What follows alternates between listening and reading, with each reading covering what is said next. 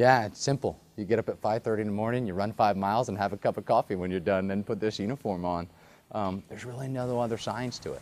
It's not a science, rather, a state of mind, a drive to be that kind of leader. Yeah, I know. You go down, there's a little walking trail down there. Yep. Even on the day he will become the 15th Sergeant Major of the Army, Dan Dailey is doing PT with soldiers. But you know what I use to drive myself out of bed every morning is I do PT with soldiers. I always make a point to say I'm going to meet one of your soldiers or all of the soldiers um, for physical fitness training. So when I go to bed at night, I know there's at least one soldier in the Army that I can't let down tomorrow morning. What do you think about that? How's that for a philosophy? It's what soldiers want and expect a leader who shows up. I remind leaders all the time that if you're not going um, to your place of duty every morning at 6 o'clock for physical fitness training and saluting the flag with your soldiers, well, then they're probably not doing it either. And the way you get them to do it is you have to lead from the front. And so, this day starts like any other. ID card? Yep, Miss Holly and Dakota. Comparatively speaking, it would be a marathon and not a five mile run. At 1300. Of course, uh, day-to-day activities of a sergeant major of the Army are very busy. The first leg is at Sergeant Major of the Army Chandler's retirement. Um, at the Pentagon, the marathon continues with interviews So I think the health of the force is, is good. and pictures. The halfway point is an office call and stroll in the halls of the Pentagon with the secretary. Amidst all that, he still finds time for a selfie This is my goddaughter.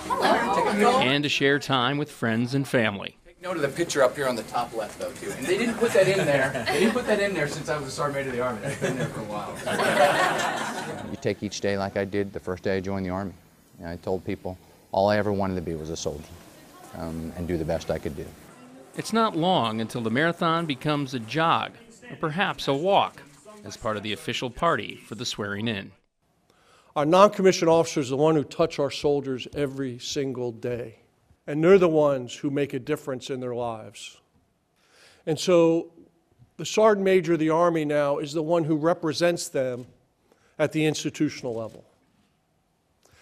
And the reason I'm so proud to have Sergeant Major Dailey here is because of what he represents. About to enter. Upon which I'm about to enter. So help me God. So help me God.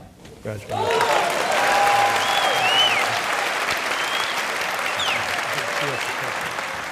By all accounts, I was just a poor average kid from northeastern Pennsylvania.